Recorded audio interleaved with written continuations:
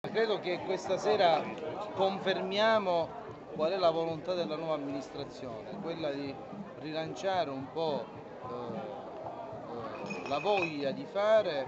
eh, coinvolgendo tutti i settori produttivi di Balestrate, l'associazionismo, il volontariato. L'Ausel questa sera dà una dimostrazione di quanto abbiamo fatto in questi, in questi due o tre mesi di attività amministrativa considerato comunque abbiamo avuto dei problemi rispetto a quanto era stato programmato, siamo riusciti comunque a dare forza a obiettivi importanti, abbiamo fatto un'estate entusiasmante, abbiamo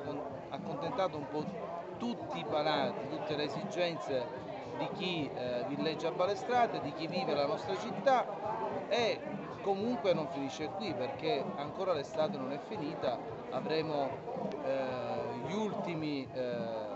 eh, eventi che arriveremo a conclusione, quindi l'estate volgerà al termine con la festa del Santo Patrono, la Dolorata, anche lì avremo tre giorni di grande festa, e dopodiché tireremo le somme, ma comunque credo che eh, tutto sommato sta andando molto bene, eh, le nostre previsioni sono state rispettate, abbiamo già davanti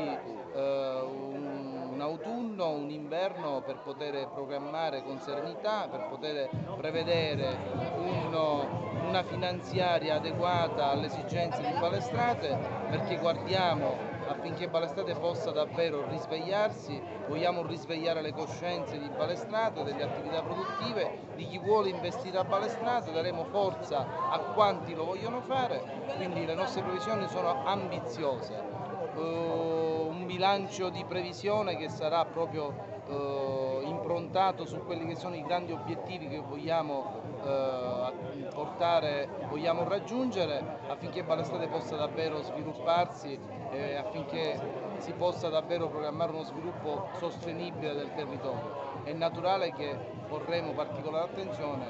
nel, per quanto riguarda il settore turistico e attorno a questo tutti gli altri, quindi il settore commerciale, artigianale e quant'altro è utile affinché Balestrate possa davvero avere un ruolo importante nel nostro territorio.